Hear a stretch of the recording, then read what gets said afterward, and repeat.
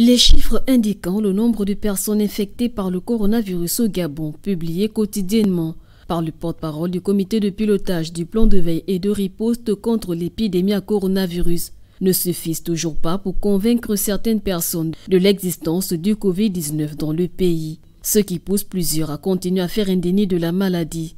Certains vont jusqu'à faire fi du dépistage recommandé en cas de manifestation de quelques symptômes. Lors de son énième point de presse, le porte-parole du COPIL a fustigé ses comportements.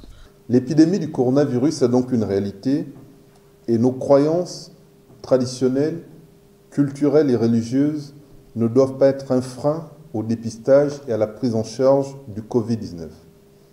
Certains compatriotes continuent à faire le déni de la maladie et même parmi ceux testés positifs le déni se fait, le refus de se prendre en charge se fait, mais également au niveau de leur administration, de leur famille, de leur communauté, ce déni se poursuit et ces personnes exposent les personnes non contaminées à une contagion, à une propagation de la maladie. Il est temps qu'ensemble, nous puissions véritablement prendre conscience de l'existence de cette pandémie dans notre pays.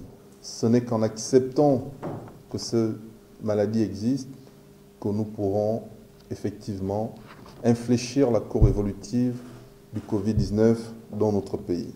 Pour rappel, 4229 cas de Covid-19 ont été recensés au Gabon depuis le 12 mars dernier. 1505 ont été guéris et 30 en sont décédés.